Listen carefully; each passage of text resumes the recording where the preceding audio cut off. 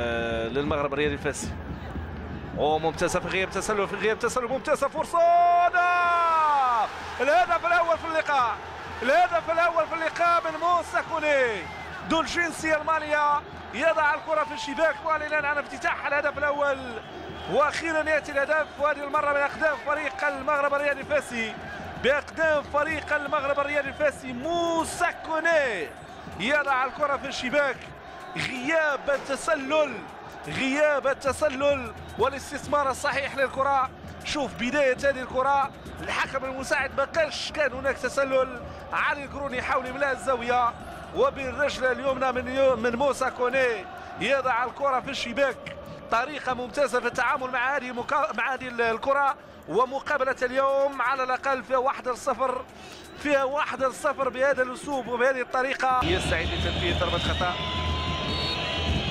نبيل الوجهي تصويبه جول!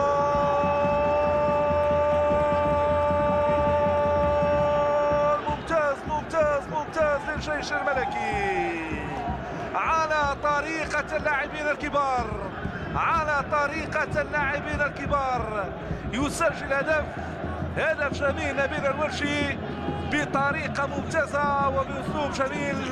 يضع الكرة في الشباك والجيش الملكي يعود في هذه المقابلة أمام فرحة المناصرين فرحة الجماهير بطريقة ممتازة برجل يسارية يقوم نبيل الوجه بوضع الكرة في الشباك ويضع هذه الكرة في شباك فريق المغرب الرياضي الفاسي.